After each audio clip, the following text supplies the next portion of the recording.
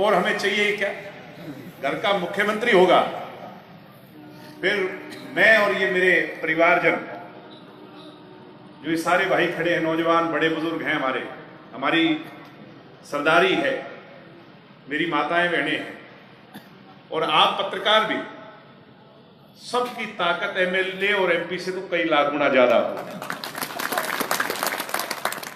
यहाँ का आदमी चंडीगढ़ जाएगा तो सलूट लगाया करेंगे, दफ्तर में अधिकारी कुर्सी से खड़े होकर स्वागत किया करेगा। अभी इस सरकार ने बहुत सारी वादे किए थे। झूठी घोषणाएँ भी की थी। और नहर बनाएँगे, मेडिकल कॉलेज बनाएँगे,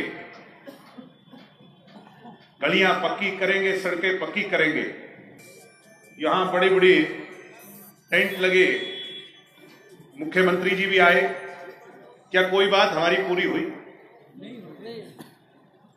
नहर बनी। बाखड़ा का पैसा गगर का पानी आया? नहीं। आया तो फिर हमारा हुआ क्या? हमें तो पछाड़ दिया।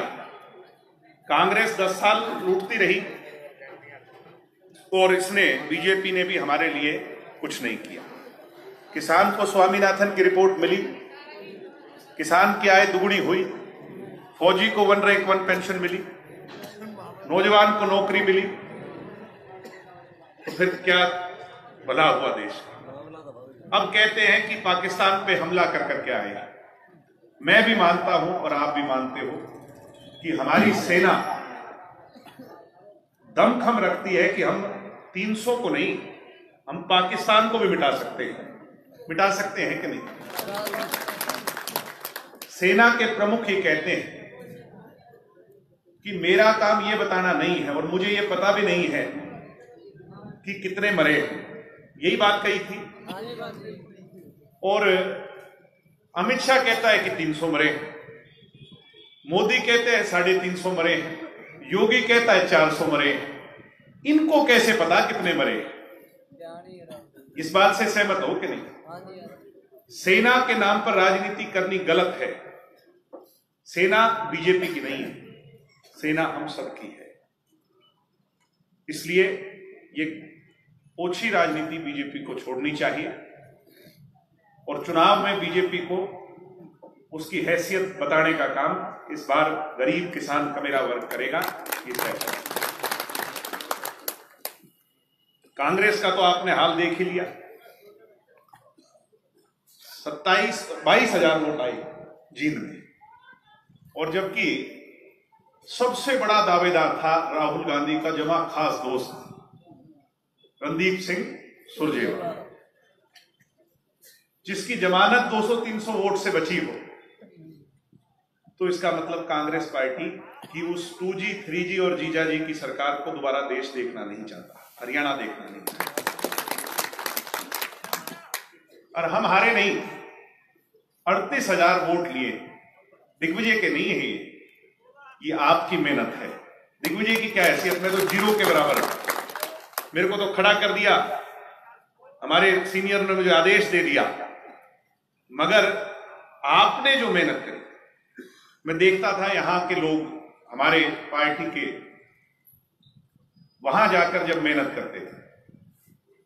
और दुष्यंत के प्रति लोगों में जो भावना है, आज के दिन, स्वर्गीय चौधरी देवीलाल जी की प्रतिमूर्ति शराफत की मूर्ति। सबको गले लगाने वाला दुष्यंत चौटाला लोग मानते हैं।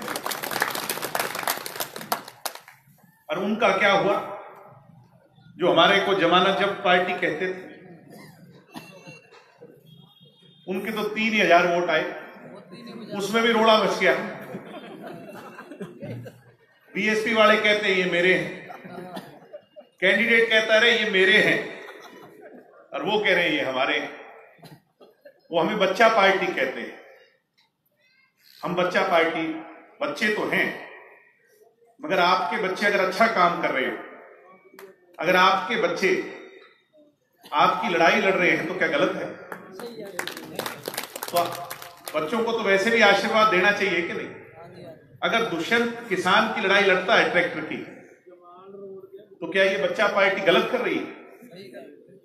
ये बच्चा पार्टी नहीं। ये क्रांतिकारियों की पार्टी है, ये क्रांतिकारियों की है जो व्यवस्था परिवर्तन करना चाहती है। बाकी बातें बारिश क्योंकि तेज हो रही है। बहुत सी बातें हैं, चुनाव शुरू हो जाएगा गाँव गाँव गली गली फिर आना है। आपसे फिर रूबरू होना है। अब तो हम परिवार के बैठे हैं। अब तो एक ही संकल्प लेना है। दिन रात मेहनत करनी है। आपको पंद्रह साल हो गए इस ज़िले के लोगों को और आप कार्यकर्ताओं को। बीस साल अगर इंतज़ार करना पड़ गया, यानी पाँच साल और में वेट करनी पड़ी तो एक पीढ़ी बदल जाएगी। और एक पीढ़ी बदल गई तो जो आने वाली जनरेशन है इस इलाके की, उसको हम क्या जवाब देंगे? कि हम तुम्हारी सोच का राज नहीं बना पाए, तुम्हारे इलाके का मुख्यमंत्री नहीं बना पाए। अब मौका है है कि नहीं?